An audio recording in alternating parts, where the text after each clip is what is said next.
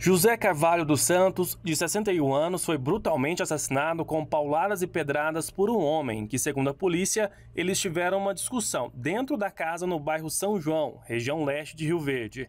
Após o crime, o suspeito ainda arrastou o corpo para o meio da rua. Informações preliminares que nós temos é de que houve uma discussão entre um casal, é, ambos usuários de drogas, e, e a mulher começou a gritar, a pedir por socorro, e quem a socorreu foram outros usuários de droga que estavam por ali. Entretanto, não apenas separaram o casal, eles começaram a agredir o rapaz que antes agredia a moça. Aí as agressões, obviamente, foram muito além do, do normal, acabaram causando primeiramente o desmaio da vítima e depois um evidente traumatismo crânioencefálico. A vítima apresentava uma grande lesão uh, craniana e acabou indo a óbito por essa razão. A polícia militar conseguiu prender o suspeito que já tem passagens por furto, roubo e homicídio praticado no estado do Pará.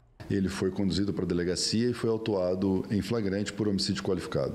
Um outro caso de homicídio também, que dois irmãos, eles estavam em uma fazenda, eles começaram a discutir uma briga ali por ali desfavorecimento, teve aquela questão de um está ganhando mais que o outro, mas teve uma discussão na hora que eles estavam na fazenda do pai, né?